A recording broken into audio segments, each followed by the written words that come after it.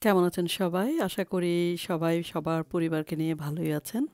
আজকে আমি যে রেসিপিটা শেয়ার করব সেটা হচ্ছে কলার কেক, যেটাতে আমি হয়তো একটু আখরোট মিশাবো। তো আমার সঙ্গেই থাকুন।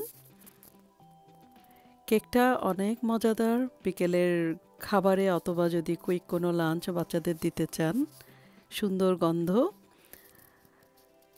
তো আমার যা লাগবে দুইটা ডিম, বেকিং পাউডার, বেকিং সোডা আর এক চিমটি লবণ, আখরোট, চিনি আর ময়দা।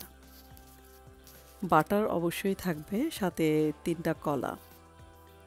কলাগুলি আমার বাসায় একটু নরম হয়ে আসছে। নরম হলেই আমি কেক বানাই, ব্যানানা কেক অথবা ব্যানানা মাফিন। আর সেটাই বেস্ট আমার মনে হয় আর কি আর আপনারা ইচ্ছা করলে কলা পিঠার সাথে, সাথে একটু ব্যানানা কেক ট্রাই করতে পারেন। খুবই সহজ। তো কলাটাকে কাঁটা চামচ দিয়ে পেস্ট করে নিতে হবে।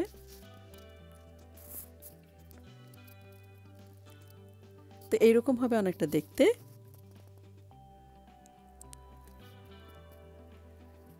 আর ময়দার সাথে বেকিং পাউডার, লবণ এবং বেকিং সোডা এগুলি মিশিয়ে নিতে হবে। প্রসেসটা নর্মাল কেক বানানোর মতোই, তেমন কোনো আহামরি কিছুই না। শুধু পরিমাণগুলি এবং উপকরণগুলি একটু ডিফারেন্ট, এটুকুই। তো প্রথমে যেটা করতে হবে সেটা হলো বাটার এবং চিনিটাকে ভালো করে মসৃণ করে ফেটে নিতে হবে। ইলেকট্রিক ব্লেন্ডার মিক কোনো অসুবিধা নাই অথবা এগ বিটার হলেও কোনো অসুবিধা নাই। যে যার সুবিধা মতো যেটাই বাসায় আছে। তো আমি মিশিয়ে নিচ্ছি। এটার হচ্ছে প্রসেস একটাই, খুবই সহজ। মিশানোর পর ডিমগুলিকে একটা, একটা করে দিতে হবে। যখন ডিমটা মিশানো হয়ে যাবে তখন ময়দা আর বেকিং মিশানো যেটা, ওটাকে মিলিয়ে দিতে হবে। আর কলা এবং আখরোটটা সবার শেষে। এই। এখন আমি একদম ফুল স্পিডে বিট করে নিচ্ছি যখন এটা শুধু বাটারটা আর সুগারটা মিশানোর সময়।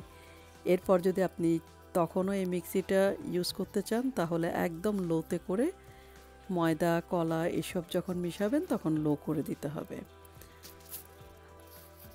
আর সবচেয়ে ভালো হয় যদি হাতে করা যায়, যদি মানে বাটার এবং সুগার মিশানোর পর যে কোনো উডেন কাঠের চামচ দিয়ে আস্তে, আস্তেও মিশালেও কোনো অসুবিধা নাই। আমি সময় বাঁচানোর জন্য পুরাটাই এভাবেই করছি।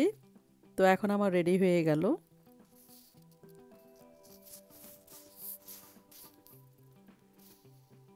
তো আমি ডিমগুলি মিশিয়ে দিব।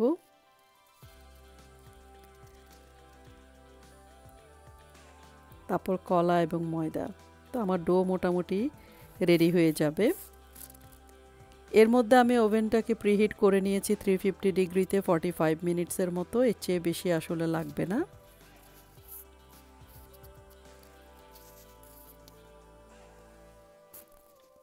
এখন আমি 13/9 ইঞ্চ লোফ টিনের মধ্যে ডোটাকে ঢেলে দিচ্ছি।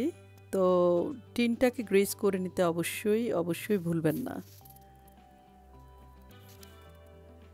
রেডি হয়ে গেল। ৪৫ মিনিট পর আমার কেক মোটামুটি রেডি। আমি ৫ মিনিট রেস্টে রেখে তারপর এটা খাবার জন্য তৈরি। তো একেবারেই সহজ, যে কোনো কেউ করতে পারবে এবং সবাই এনজয় করবে। আশা করি ভালো লেগেছে আপনাদের ভিডিওটি এবং ভালো লাগলে শেয়ার করবেন। আর ভালো থাকবেন। সবাইকে অনেক, অনেক শুভকামনা জানিয়ে আমি বিদায় নিচ্ছি ভ্যানকুভার থেকে শারমিন। আল্লাহ হাফেজ।